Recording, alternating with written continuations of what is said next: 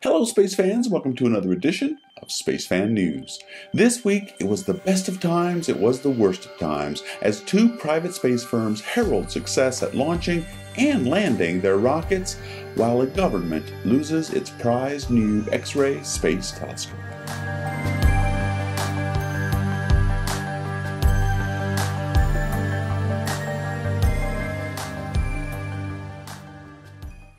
Let's start with the bad news.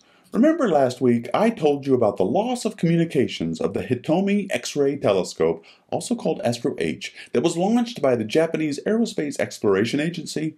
Well, after that episode came out, a couple of days later, the Joint Space Operations Center announced that they were tracking more pieces of Hitomi than they were the week prior which meant that things were not looking good. Astronomers have been tracking Hitomi pretty much non-stop, and, well, the photos kind of say it all. This photo, taken by the University of Alabama astronomer William Keel on Sunday evening, seems to show different pieces of the spacecraft catching the sun as they slowly rotate.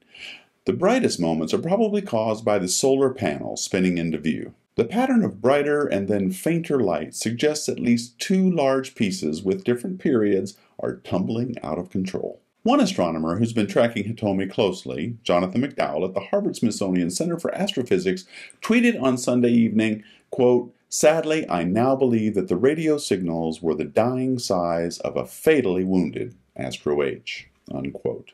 So, what happened to Hitomi?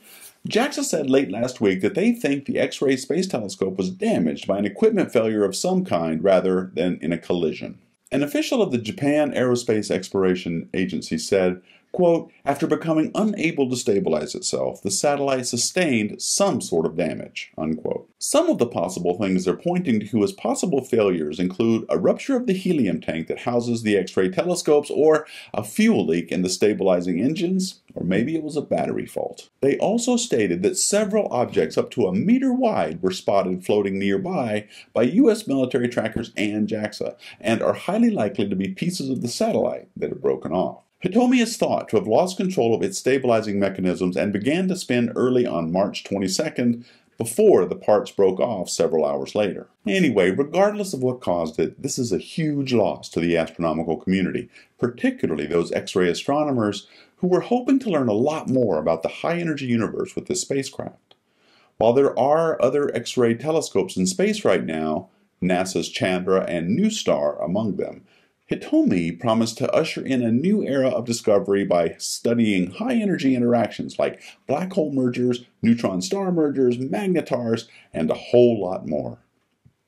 So, for X ray astronomers, it was the worst of times. Now, next, there were lots of reasons to celebrate this week, though, because earlier this week, Jeff Bezos and his spaceflight company Blue Origin successfully launched and landed its space vehicle called New Shepard. This landing marks the third time they've nailed the landing of their spacecraft. Zero. Lift off. New Shepard is clear the tower.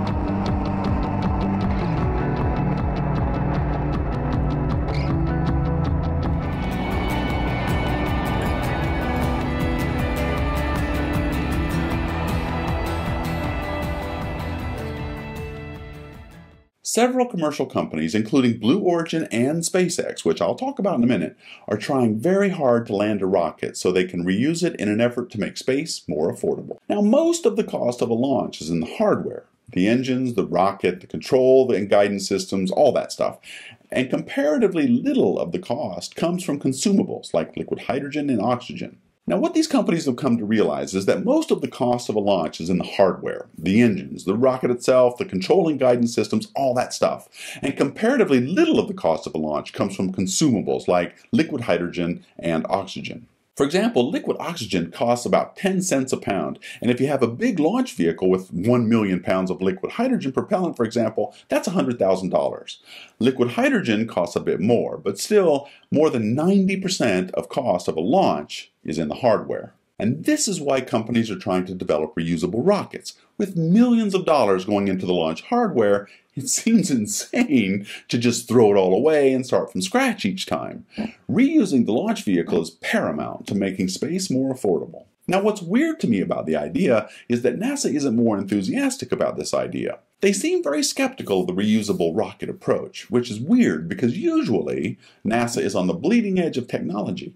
But I think they're kind of missing the boat here. Now, they seem to get it when they developed the space shuttle back in the 70s. Reusable vehicles made sense to them back then, but now they're going the other way with the enormously expensive Space Launch System, which uses the same main engines as the Space Shuttle, which were, as I said, developed in the 1970s. Now, Jeff Bezos actually had something cool to say about this back in December. He said, quote, If von Braun came back from the dead and looked around at our current fleet of rockets, he would recognize them all. He'd say, Oh, you're still throwing them in the ocean. I thought by now you'd be reusing them.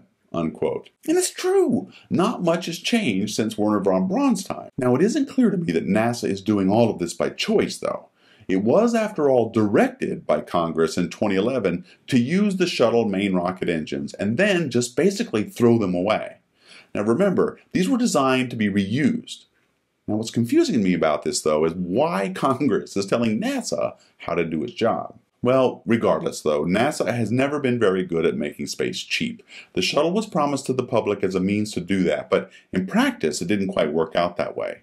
Over the course of three decades and 135 flights, the shuttle's costs were much closer to $25,000 a pound. It also wasn't as easy to reuse the shuttle as everyone hoped. So the successful landing this week of New Shepard is very exciting for those of us hoping to see a cheaper way to spaceflight. Jeff Bezos said that the rocket they landed this week will be the shortest they ever make, at 80 feet tall. And Blue Origins have plans to make much bigger and more powerful rockets that can scale with size and increasingly reduce the cost of launching stuff into space.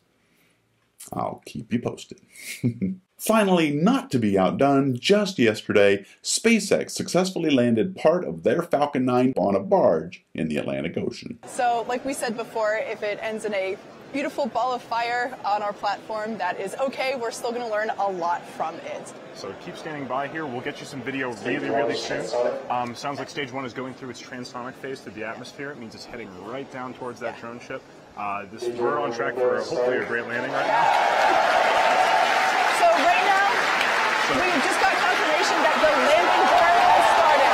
Let's take a look at the drone ship now. So you're seeing live footage of Of Course I Still Love You, our drone ship, waiting for the, the engine. Slow it down, lights are deployed.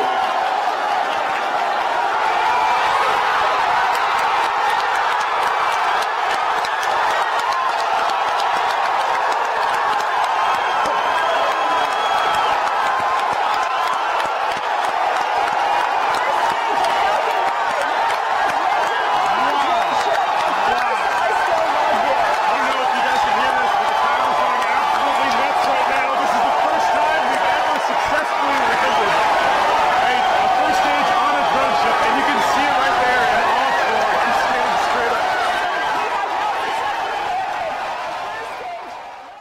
Now, comparing these two landings, to me, it looks like SpaceX had the harder job trying to land that rocket on a barge rolling around in the sea.